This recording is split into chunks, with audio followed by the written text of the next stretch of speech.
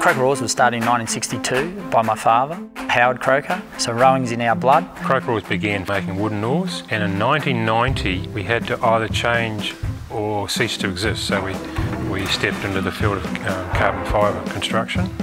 The success stories really comes from my father and John, their ability to think ahead. We've tried to make the best product, not necessarily the most dollars or the cheapest product, we're trying to make the best product because we feel in our game it's, it's, a game of excellence.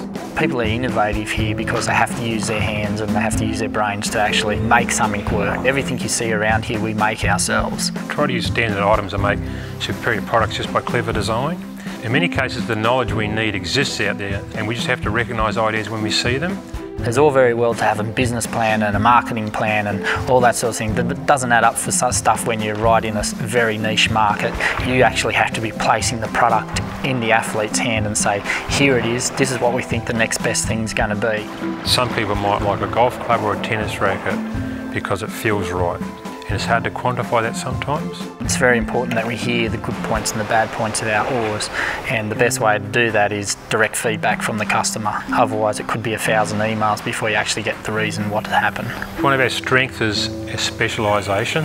Athletes vary from 2 metres and 110 kilos to slender lightweight women who are 54 kilos and we have to make an appropriate product for all of those people.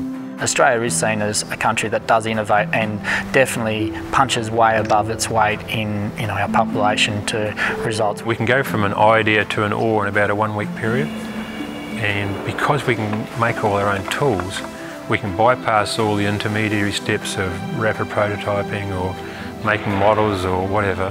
We feel we have the knowledge in this factory to do almost anything in carbon. It's a great industry turning up to work and producing something with your hands, then putting it on the international market and then seeing it win a gold medal. There's not much better than that.